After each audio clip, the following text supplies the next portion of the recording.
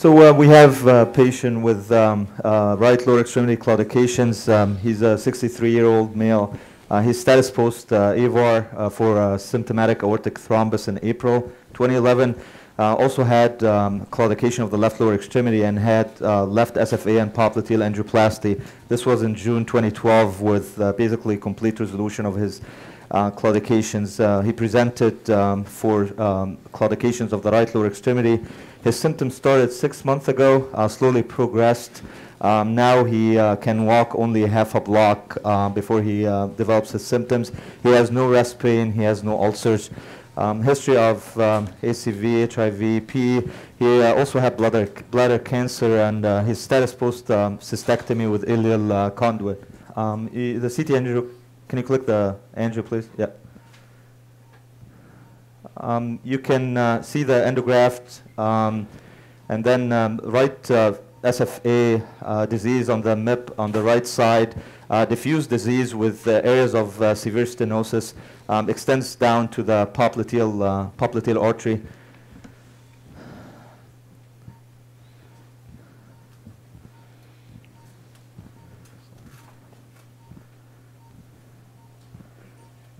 So, 63-year-old uh, male, progressive right lower extremity claudications, um, evidence of significant SFA disease, popliteal also um, on PVR and CTA. Um, the options were uh, to go antegrade uh, common femoral artery access because of his uh, endograft and because of also the, the ileal conduit, or uh, go transradial um, access uh, and plasty. So basically, what we did is we got right, left radial access. We purposely went a little, a little high uh, to make sure we get enough length uh, to do everything. Um, so then we basically were able to easily get down the arch. Um, so this is us. We basically doubled over the Benson to make sure we stayed within the endograft. We don't want to go behind it because that could be somewhat disastrous. Um, so we ended up actually going down. This is sort of our, our runoff here. So this is a 125 VER. Um, we had about 10, 15 centimeters out the, the back of the, the sheath here. So you can see there's significant multifocal um, sort of mid uh, SFA disease. Um, we're going to run off the, the rest of them here. So again, sort of mid to proximal SFA disease. Uh, roughly, we sort of guesstimated uh, about 12 centimeters of disease here. Popliteal looks okay. Um, his tibials aren't so great, but ultimately, because this guy's just a claudicant, we're not going to sort of deal with this. Um, we just obviously wanted to do this for documentation purposes. Um, I'll show you. It gets we get a eventually get a good run here of the, the tibial vessels here. You can see here, there's the PT going down, peroneal comes back via collaterals. So basically, what we did is we put an exchange length Benson down. Um, we're going to end up using a, a 180, 180 centimeter length uh, Pacific Plus balloon from Medtronic. Um, what this allows us to do, obviously, is because it's a good length. Um, the, the biggest issue is obviously it's, it's 180 centimeters over the wire. Um, so we're using, actually, it's a GI fluoro wire, uh, endoscopy wire, but it's a 180, uh, sorry, 480 centimeter uh, Boston Scientific um, 018 wire called, a, I think it's called Navigold. Navigold. Yeah, Navigold wire. We were able to cross uh, here. So let's see if I can show you that part. So basically, this is where we are right now. Um, as you can see there, we've sort of positioned our balloon. That's about 12 centimeters. Um, probably can go in just a little bit further.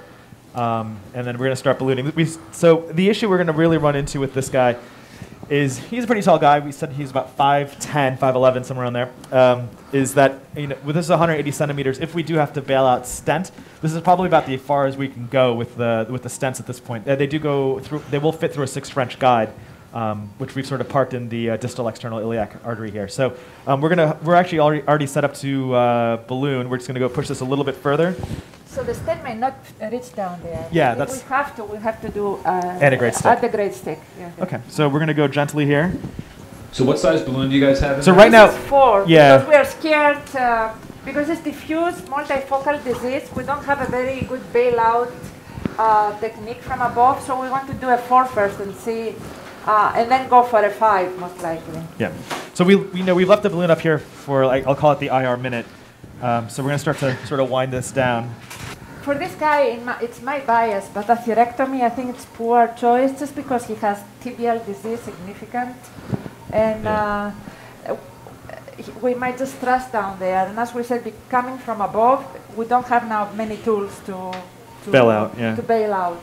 I, I guess a, a, corollary to that question is, you know, and, and one of the reasons why we wanted to show this type of case today was to show where we are right now, what types of cases that we think we can do successfully, and then where we want to go.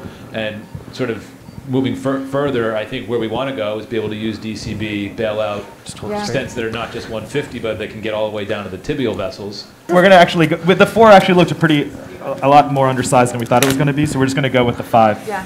Um, you know, again, like I said, we're sort of being a little bit more cautious because we're, we're not totally sure uh, in terms of our bailouts here. Well, let's talk about that a little bit. Yeah, so let's say a rupture or a, um, a dissection which requires a stent below where the stent could reach, something like that. What would you do? So I, I, I I personally, for me, I, I that's why for now I choose cases where the, this, the proximal SFA is clean, so I can always go uh, antegrade.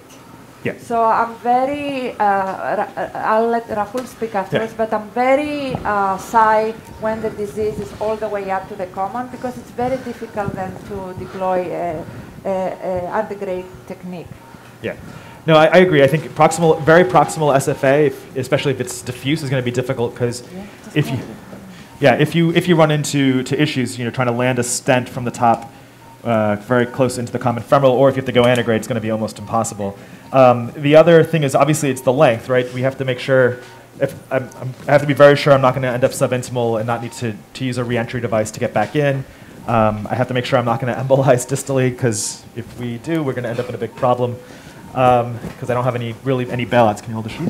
Rahul, can we see the wrist? And so, just so we can see what you have working in the wrist right now? Yeah, it's a little covered up, but you can see we have a five six slender and a six one uh, ten MP guide, Okay. uh, which is from Medtronic. We actually put a Cook uh, check flow valve on here. Is there a reason that you selected a guide catheter and not a, a guide sheath? Um, so you know his uh, radial artery wasn't that big, and I'm a little worried about getting spasm Yeah. around the sheath. So you know we figured out actually pretty quickly that the stent and the balloon will go through the guide, so we didn't think we needed the sheath that, down that far. Um, all right, so uh, we decided that um, you know we had all these residual stenoses. We took it to five. We didn't really want to push it to six for angioplasty. Um, so we actually then took the, the stent down. So this is the stent coming down uh, here. So we got it in position with the roadmap. Um, it actually it does fit through the six French guide. Um, it did reach. We didn't have to take it out. Didn't have to take off the um, the check flow valve or anything. Uh, we could probably go maybe another three to four centimeters down from here, but that's about the extent of uh, the length we would get with 150. Um, we did. It, this is actually an 035 stent, but we did it over the 018 wire because when we have the balloon, we don't have to keep doing these exchanges. So here's the stent uh, being deployed. Um, and then we sort of balloon, reballooned uh, back up with five. We sort of took it over dilated the balloon. And then this is the run afterwards. So it looks much better.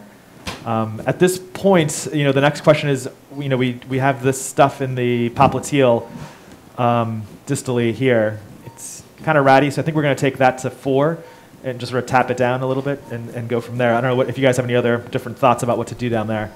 So actually, you know, his ABIs at rest, they don't really correlate to the degree of his disease.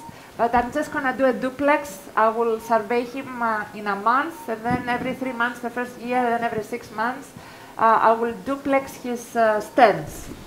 And I will follow his ABIs. Okay. He looks like uh, at some point he's going to develop significant tibial disease.